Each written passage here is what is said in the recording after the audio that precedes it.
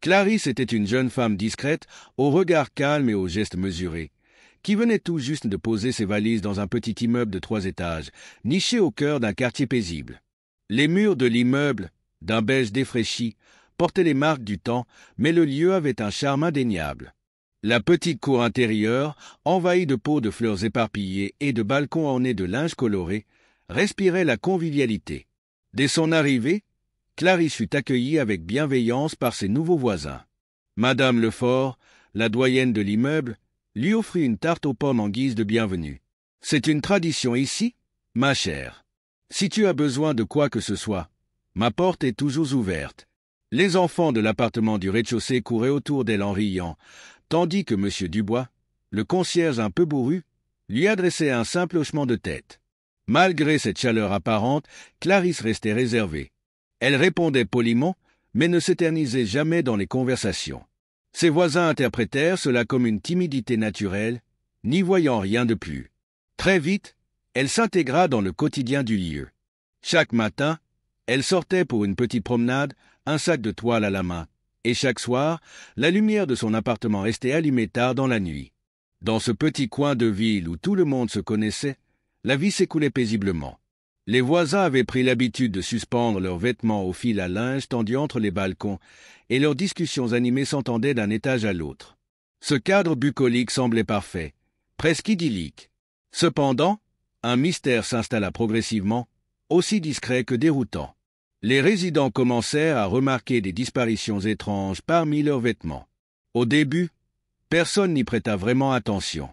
Une culotte égarée Peut-être un coup de vent un soutien-gorge manquant, cela arrivait parfois, se disait-il. Mais ces incidents isolés devinrent bientôt trop fréquents pour être attribués au hasard. C'est drôle, murmura un jour madame Lefort à sa voisine du deuxième étage. J'avais accroché trois culottes hier, et ce matin, il n'en reste que deux. La voisine haussa les épaules en riant. Peut-être que le vent a des goûts raffinés. Les plaisanteries ne tardèrent pas à se multiplier. Le fantôme de la lingerie frappe encore, s'amusait M. Dubois en secouant la tête. Pourtant, derrière les rires, une légère inquiétude commençait à poindre. Qui ou quoi pouvait bien subtiliser ses sous-vêtements? Et surtout, dans quel but? La tension était palpable, même si personne n'osait encore vraiment en parler sérieusement. Pendant ce temps, Clarisse continuait à vivre sa vie avec la même discrétion, observant parfois avec un léger sourire ses discussions depuis son balcon. Si ses voisins avaient su ce qu'elle faisait, ils auraient cessé de rire immédiatement. Un après-midi tranquille, alors que les enfants jouaient dans la cour et que les résidents s'affairaient à leurs occupations habituelles, Clarisse referma la porte de son appartement avec une précision presque cérémonieuse. Le léger astérisque clic astérisque du verrou résonna dans le silence de son petit espace. Elle s'arrêta un instant, le regard perdu, comme pour s'assurer que personne ne l'avait vue. Puis, elle se dirigea vers son salon transformé en atelier. L'endroit était méconnaissable, un mélange fascinant d'ordre méticuleux et de créativité débordante. Un grand meuble en bois, couvert de petits tiroirs étiquetés, occupait un mur entier. Chaque tiroir contenait des trésors variés, des perles scintillantes, des fils de soie de toutes les couleurs, des rubans délicats et des ciseaux d'une précision chirurgicale. Une machine à coudre ancienne trônait fièrement sur une table centrale, son métal usé brillant légèrement sous la lumière douce d'une lampe articulée.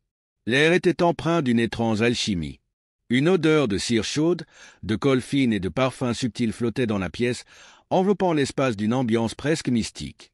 Au centre de la table, des culottes soigneusement pliées formaient une pile ordonnée. Leurs tissus variés dentelles délicates, coton simple ou satin brillant, semblaient presque attendre d'être métamorphosés. Clarisse s'approcha avec une détermination calme. Elle prit une culotte noire en dentelle, la déplia délicatement et l'étala sur un carré de velours. Ses doigts fins caressaient le tissu avec une précision presque révérencieuse, comme si elle lisait une histoire secrète dans chaque couture. À ses côtés, un carnet de croquis ouverts révélait des dessins détaillés, des masques élégants, des pochettes ornées de motifs complexes, des broches rehaussées de fils d'or et d'argent. Clarisse n'était pas qu'une voleuse, elle était une artiste. Son esprit créatif voyait dans ses sous-vêtements bien plus que leur usage initial. Elle y discernait des potentiels cachés, des matières premières pour ses œuvres uniques. Elle alluma sa machine à coudre d'un geste expert, le ronronnement de l'appareil remplissant doucement la pièce. Elle commença à travailler, ajoutant des perles minuscules le long de la bordure d'une culotte ou brodant un motif délicat sur un autre morceau de tissu. Le processus était méticuleux, presque hypnotisant. Chaque point, chaque fil ajoutait une touche de magie à l'objet initial. Clarisse n'avait jamais considéré son art comme un vol. Pour elle, il s'agissait d'un hommage à la beauté cachée dans les objets du quotidien. Elle transformait des pièces simples et intimes en créations sophistiquées, presque irréelles.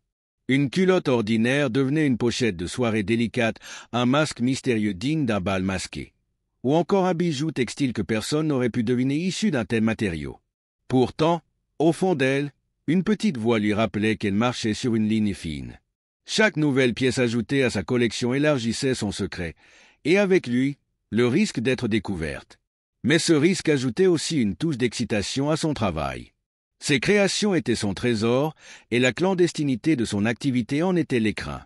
Tandis qu'elle terminait une broderie complexe sur un morceau de tissu lilas, Clarisse recula pour admirer son œuvre. Le masque était sublime, orné de motifs floraux entrelacés de fils d'argent et de minuscules pierres brillantes.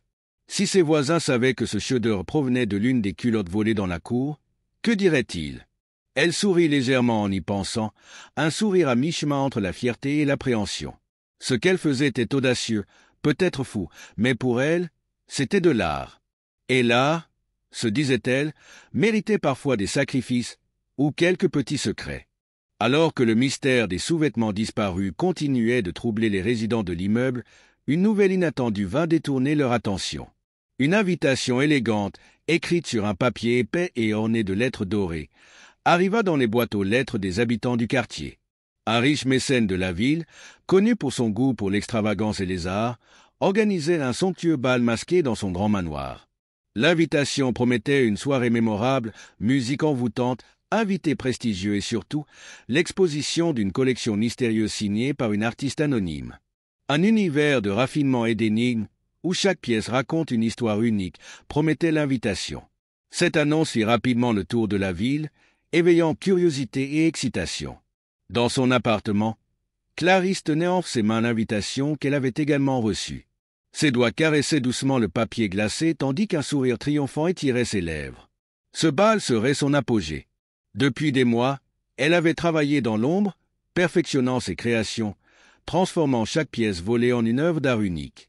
Ce soir-là, elle ne serait plus la femme discrète que ses voisins connaissaient, mais une artiste admirée par des inconnus fascinés.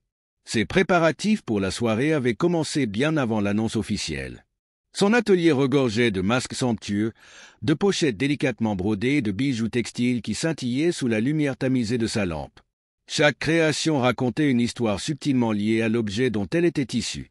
Elle les disposa soigneusement dans une malle recouverte de velours noir, prête à les livrer aux mécènes qui l'avaient contacté dans le plus grand secret.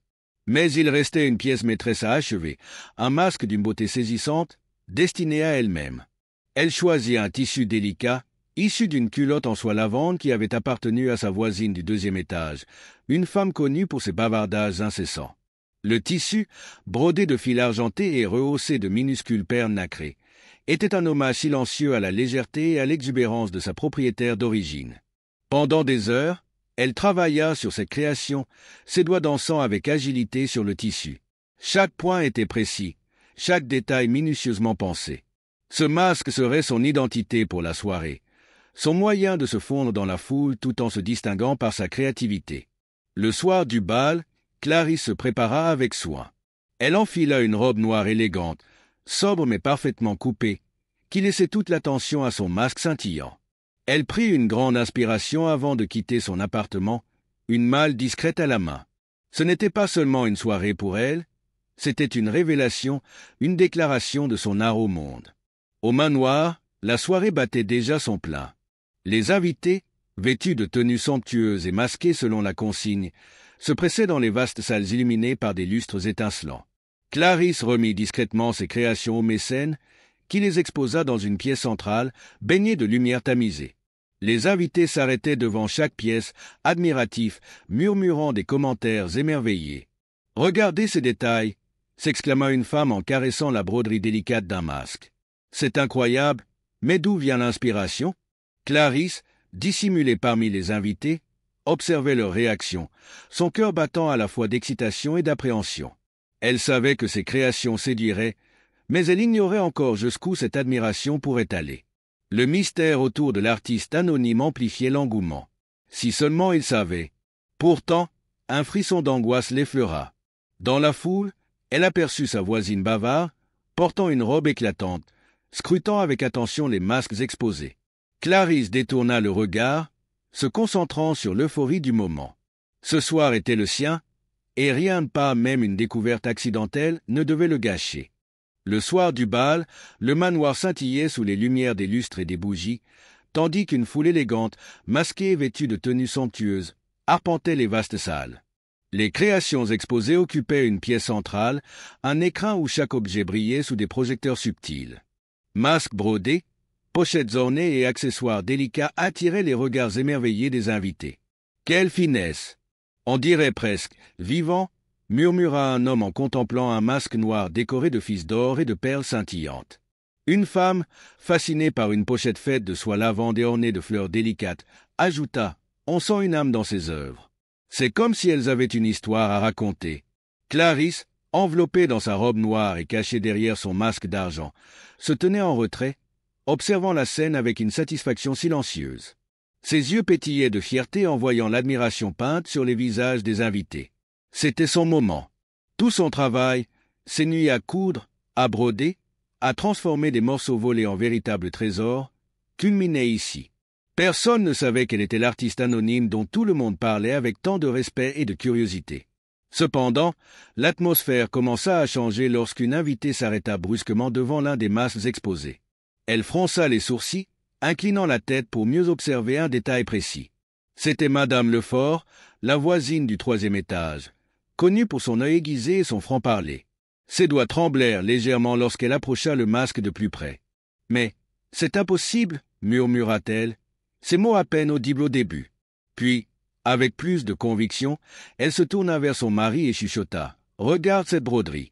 C'est la même que celle que j'avais ajoutée à ma culotte en soie. Je reconnais ce motif.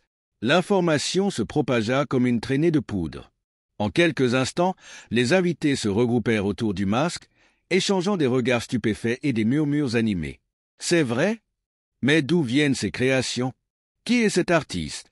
Clarisse, encore à l'écart, sentit son cœur s'emballer. Elle avait espéré que les détails seraient trop subtils pour être remarqués, mais elle avait sous-estimé la mémoire attentive de ses voisins. L'effervescence montait, et elle comprit qu'il ne faudrait pas longtemps avant que la vérité éclate au grand jour. Un murmure dominant finit par se transformer en une exclamation collective. Ces œuvres viennent de sous-vêtements volés. L'agitation gagna la salle. Certains invités, amusés par cette révélation inattendue, éclatèrent de rire. Quelle audace s'exclama un homme en applaudissant. C'est une forme d'art subversive. Mais d'autres, en particulier les voisins de Clarisse, ne trouvaient pas cela drôle du tout. Madame Lefort, le visage rouge d'indignation, s'écria. C'est un scandale. Qui aurait pu faire une chose pareille? D'un geste vif, elle se tourna vers le mécène. Vous devez savoir qui est cette soi-disant artiste. Où est-elle? Clarisse sentit une sueur froide couler dans son dos. Elle recula instinctivement, cherchant un moyen de quitter la pièce sans attirer l'attention. Mais le mécène, curieux et intrigué par le tumulte, leva la main pour réclamer le silence. Calmez-vous, mesdames et messieurs, dit-il d'une voix posée. L'identité de l'artiste anonyme m'est inconnue, mais je suis certain qu'elle ou il se trouve parmi nous ce soir. Peut-être aurons-nous la chance de l'entendre. Un silence tendu s'installa. Tous les regards balayaient la salle, cherchant à démasquer l'auteur de cette controverse artistique. Clarisse, le souffle court, hésita. Elle pouvait fuir ou se révéler. Ce moment de suspension laissa place à un mélange de peur et d'excitation en elle. Les battements de son cœur résonnaient plus fort que jamais. Si elle parlait maintenant, elle risquait tout, mais elle savait aussi que ce moment pourrait devenir sa chance ultime de défendre son article. Les secondes s'étiraient, et tout le monde semblait retenir son souffle. L'atmosphère dans la salle était lourde, tendue. Tous les regards étaient fixés sur Clarisse, qui, après un moment d'hésitation, fit un pas en avant. Son masque d'argent ne cachait plus son trouble, mais aussi une certaine détermination. Elle inspira profondément, levant les yeux pour affronter ses voisins et les invités intrigués. Je ne peux nier ce que j'ai fait, commença-t-elle, sa voix tremblante mais claire. C'est vrai, ces œuvres viennent des vêtements que j'ai, pris sans permission. Un murmure d'indignation traversa la foule, mais elle continua. Je sais que cela peut paraître étrange, mais je n'ai jamais vu ces objets comme de simples sous-vêtements. Pour moi, ils portaient une histoire, un caractère unique que je voulais sublimer. Mon intention n'a jamais été de nuire, mais de transformer l'ordinaire en quelque chose de beau, de mémorable. Certains voisins, notamment Madame Lefort, croisèrent les bras, manifestement peu convaincus. Et pourquoi ne pas simplement demander? Nous aurions pu vous donner de vieux vêtements si vous en aviez besoin pour vos créations, s'exclama-t-elle. Clarisse baissa les yeux, rougissant légèrement. Peut-être que j'aurais dû. Mais j'avais peur que vous ne compreniez pas, ou que vous refusiez. Ce que je fais est inhabituel, je le reconnais, et je pensais que garder mon secret était le meilleur moyen de me concentrer sur mon article. À ces mots, un homme élégant portant un masque noir intervint. Et pourtant, regardez autour de vous, il fit un geste vers les œuvres exposées. Ces créations sont extraordinaires. Elles transforment quelque chose d'aussi intime et banal en article. C'est audacieux, certes, mais n'est-ce pas la l'essence même de la créativité? Le silence qui suivit fut brisé par une femme plus jeune, une autre voisine de l'immeuble. C'est vrai que je me suis senti violé quand mes affaires ont disparu, mais en voyant ses œuvres, je ne peux m'empêcher d'admirer ce qu'elle a réussi à faire. Peut-être que nous devrions lui donner une chance de s'expliquer davantage. D'autres voix commencèrent à se faire entendre, partageant des opinions variées. Certains étaient outrés par l'audace de Clarisse et exigeaient des excuses formelles, voire une restitution immédiate des pièces restantes. Et qu'en est-il des culottes qui ne sont pas devenues des œuvres d'art? lança quelqu'un, provoquant des rires nerveux. Mais une partie de l'assemblée, touchée par la sincérité de Clarisse et fascinée par son talent, proposa une solution plus équilibrée. Pourquoi ne pas tourner cette affaire en quelque chose de positif? suggéra une invitée. Si elle est capable de créer de telles merveilles avec des objets aussi simples, pourquoi ne pas lui permettre de continuer, mais cette fois avec notre consentement Après des débats animés, une décision fut prise. Clarisse devait présenter ses excuses à ses voisins, ce qu'elle fit avec humilité, promettant de ne plus agir sans leur accord. En contrepartie, ses voisins acceptèrent de lui pardonner, à une condition. Elle devait leur offrir des créations personnalisées, réalisées à partir de vêtements ou de tissus qu'ils choisiraient eux-mêmes. Ce pacte marqua un tournant dans la vie de Clarisse. Elle se mit au travail avec un enthousiasme renouvelé, prenant soin d'écouter les histoires que ses voisins partageaient sur les tissus qu'ils lui confiaient. Une vieille chemise d'un grand-père disparu devint une broche élégante, une robe usée se transforma en un masque digne d'un bal princier. Son atelier devint un lieu de création collective, où les souvenirs se mêlaient à l'art. Grâce à ce nouveau départ, Clarisse gagna une reconnaissance bien au-delà de son immeuble. Les journaux locaux, puis nationaux, parlèrent de elle, artiste des objets oubliés, mettant en lumière son talent unique et l'histoire insolite qui avait marqué ses débuts. Son immeuble devint un lieu de visite incontournable, un symbole de transformation et d'inspiration. Ses voisins, autrefois méfiants, devinrent ses plus grands soutiens. Chacun d'eux portait désormais une pièce unique créée par Clarisse, fiers d'avoir participé, à leur manière, à cette aventure artistique hors du commun. Et dans ce petit immeuble, plus personne ne voyait les objets du quotidien comme avant. Ils étaient tous des trésors en puissance, attendant seulement de rencontrer l'imagination de Clarisse.